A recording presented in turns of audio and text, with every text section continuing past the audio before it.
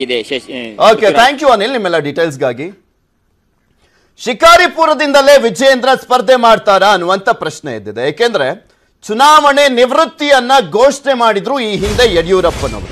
ಯಡಿಯೂರಪ್ಪನವರು ಚುನಾವಣೆ ನಿವೃತ್ತಿಯನ್ನ ಘೋಷಣೆ ಮಾಡ್ತಿದ್ದ ಹಾಗೆ ಈ ಒಂದು ಕ್ಷೇತ್ರದಲ್ಲಿ ವಿಜೇಂದ್ರ ಸ್ಪರ್ಧೆ ಮಾಡ್ತಾರೆ ಅಂತನೂ ಕೂಡ ಹೇಳಿದ್ರು. ಅದಾದ್ಮೇಲೆ ಸಾಕಷ್ಟು ಚರ್ಚೆ ಆಗಿತ್ತು.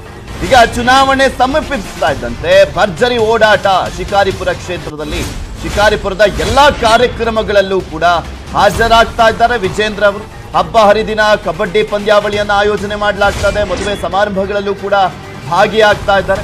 ಇಡೀ ಕ್ಷೇತ್ರದಾದ್ಯಂತ ವಿಜೇಂದ್ರ ಮಿಂಚಿನ ಸಂಚಾರವನ್ನು ಮಾಡ್ತಾ ಇದ್ದಾರೆ ತಂದೆಯ ಜೊತೆಗೆ.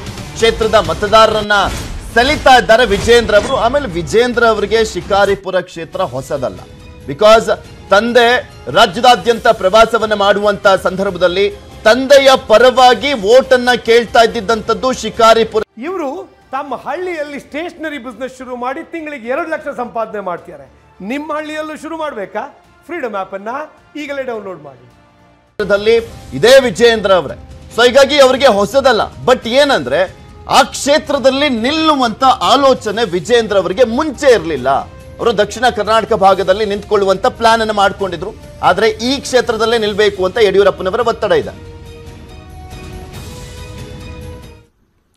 ಇಲ್ಲಿ ಶಿಕಾರಿಪುರ ಕ್ಷೇತ್ರದಲ್ಲಿ ಅಪ್ಪ ಮಗನಿಗೆ ಕ್ಷೇತ್ರವನ್ನ ಕೊಡ್ತಾ ಇದ್ರೆ ಅಂದ್ರೆ ಮಾಜಿ ಮುಖ್ಯಮಂತ್ರಿ ಯಡಿಯೂರಪ್ಪನವರು ತನ್ನ ಮಗ ವಿಜೇಂದ್ರ ಅವರಿಗೆ ಆ ಒಂದು ಕ್ಷೇತ್ರವನ್ನ ಬಿಟ್ಕೊಡ್ತಾರೆ ಅಂತ ಹೇಳಲಾಗ್ತಾ ಇರುವಂತದ್ದು ಇನ್ನೂ ಒಂದ್ ಕಡೆ ಮಗ ತನ್ನ ತಂದೆಗೆ ಕ್ಷೇತ್ರವನ್ನ ಬಿಟ್ಕೊಡುವಂತ ಚಾನ್ಸಸ್ಗಳಿದೆ.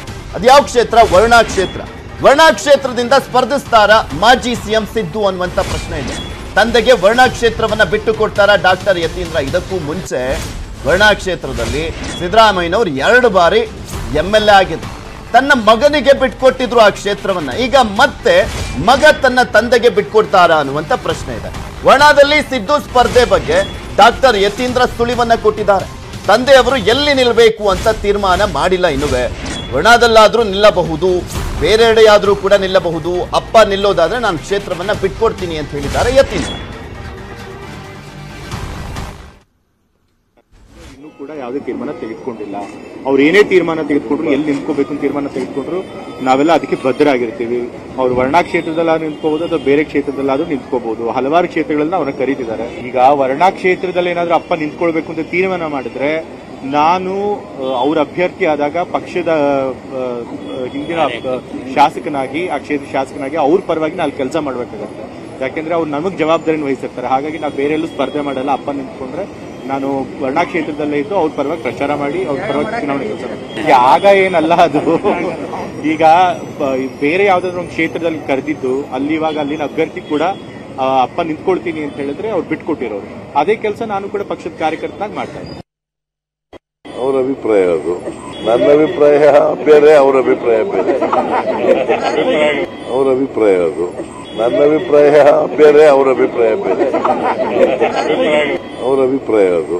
ನನ್ನ ಅಭಿಪ್ರಾಯ ಇದೆಲ್ಲದ್ರ ಬಗ್ಗೆ ಮತ್ತಷ್ಟು ಮಾಹಿತಿಯನ್ನು ನೀಡ್ತಾರೆ ನಮ್ಮ ಪೊಲಿಟಿಕಲ್ ಬ್ಯೂರೋ ಮುಖ್ಯಸ್ಥರಾಗಿರುವಂತಹ ಚಿದಾನಂದ್ ಪಟೇಲ್. ನಮ್ಮ ಜೊತೆ ನೇರ ಸಂಪರ್ಕದಲ್ಲಿ ಜಾಯ್ನ್ ಆಗ್ತಾ ಇದ್ದಾರೆ. ಚಿದಾನಂದ್ ಪಟೇಲ್, ಶಿಕಾರಿಪುರ ಕ್ಷೇತ್ರದ್ದು ಯಡಿಯೂರಪ್ಪನವರು ಈಗ ಆಲ್ರೆಡಿ ಗುಟ್ಟನ್ನ ಬಿಟ್ಕೊಟ್ಟಿದ್ರು. ವಿಜೇಂದ್ರ ಇಲ್ಲೇ ನಿಂತ್ಕೊಳ್ಳುವಂತ ಚಾನ್ಸಸ್ ಇದೆ ಅನ್ನುವಂಥದ್ರ ಬಗ್ಗೆ. ಸೊ ಅಲ್ಲಿ ಯಾವ ರೀತಿಯಾಗಿ ವೇದಿಕೆಯನ್ನ ಸಿದ್ಧಪಡಿಸ್ಕೊಳ್ತಾ ಇದ್ದಾರೆ ವಿಜೇಂದ್ರ ಅಂತ ಮತ್ತೊಂದು ತಂದೆಗೋಸ್ಕರ ಮಗ ಕ್ಷೇತ್ರವನ್ನ ಬಿಟ್ಕೊಡ್ತಾ ಇದ್ದಾರೆ. ಅದಕ್ಕೂ ಮುಂಚೆ ಸಿದ್ದರಾಮಯ್ಯನವರು ಎರಡು ಬಾರಿ ಅಲ್ಲಿ ಎಂ ಎಲ್ ಎ ಆಗಿದ್ರು ವರ್ಣಾ ಕ್ಷೇತ್ರದಲ್ಲಿ.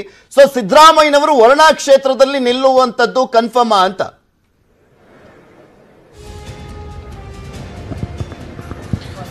ಪೃಥ್ವಿ ಬಿ ಎ ವಿಜೇಂದ್ರ ಅವರಿಗೆ ಶಿಕಾರಿ ಕ್ಷೇತ್ರ, ಶಿಕಾರಿಪುರ ಕ್ಷೇತ್ರ ಫಿಕ್ಸ್ ಆಗಿರುವಂಥದ್ದು. ಸ್ವತಃ ಅವರ ತಂದೆ ಬಿ ಎಸ್ ಯಡಿಯೂರಪ್ಪನವರು ವಿಜೇಂದ್ರ ಅವರು ಇನ್ನು ಮುಂದೆ ಶಿಕಾರಿಪುರ ಕ್ಷೇತ್ರದಿಂದ ಸ್ಪರ್ಧೆ ಮಾಡ್ತಾರೆ ಅಂತ ಹೇಳಿಕೆಯನ್ನು ಕೊಟ್ಟರು ಆ ಹೇಳಿಕೆ ರಾಜ್ಯ ಬಿಜೆಪಿಲಿ ಅಲ್ಲೋಲಕಲ ಉಂಟಾಯಿತು. ಹೈಕಮಾಂಡ್ ಕೂಡ ಗರಂ ಆಯಿತು. ನಂತರ ಬಿ ಎಸ್ ಯಡಿಯೂರಪ್ಪನವರು ಯೂ ಟರ್ನ್ ನೋಡಿದ್ರು. ಯೂ ಟರ್ನ್ ನೋಡಿದ ಬಳಿಕ ಇದೀಗ ಬಿ ಎ ವಿಜೇಂದ್ರ ಅವರು ರಾಜ್ಯ ಉಸ್ತುವಾರಿ ಅರುಣ್ ಸಿಂಗ್ ಬಳಿ ನನಗೆ ಯಾವ್ದಾದ್ರು ಒಂದು ಇಂಥದ್ದೊಂದು ಕ್ಷೇತ್ರ ಅಂತ ಫಿಕ್ಸ್ ಮಾಡಿ ಆ ಕ್ಷೇತ್ರದಲ್ಲಿ ಕೆಲಸ ಮಾಡ್ತೀನಿ. ಜೊತೆಗೆ ರಾಜ್ಯ ಪ್ರವಾಸ ಮಾಡ್ತೀನಿ ಅಂತ ಹೇಳಿ ಮತ್ತು ಈ ಸಂಬಂಧಪಟ್ಟ ಹೈಕಮಾಂಡ್ ನನಗೆ ಒಂದು ಒಪ್ಪಿಗೆ ಕೊಡಿಸಿ ಅಂತ ಹೇಳಿದ್ರು. ಆದರೆ ಇದುವರೆಗೂ ಕೂಡ ಅರುಣ್ ಸಿಂಗ್ರಿಂದ ಆಗಲಿ ಹೈಕಮಾಂಡ್ ಯಾವುದೇ ಒಪ್ಪಿಗೆ ಮತ್ತು ಯಾವುದೇ ಕ್ಷೇತ್ರ ಫಿಕ್ಸ್ ಅಂತ ಹೇಳಿ ಅವರಿಗೆ ತಿಳಿಸಲಿಲ್ಲ.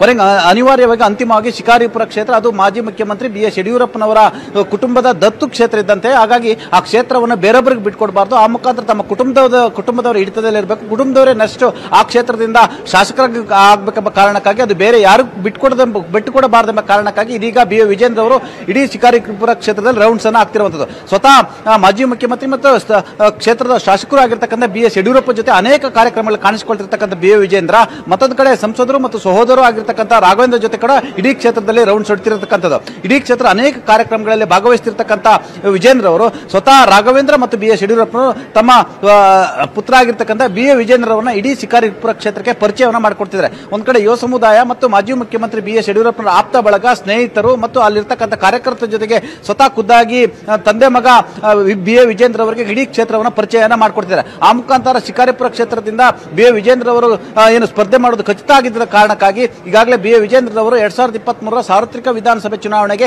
ಶಿಕಾರಿಪುರ ಕ್ಷೇತ್ರದಿಂದ ಸ್ಪರ್ಧಿಸಲು ಎಲ್ಲಾ ರೀತಿಯ ತಯಾರಿಯನ್ನು ಮಾಡಿಕೊಳ್ತಿರುವಂತದ್ದು ಒಂದು ಭಾಗ.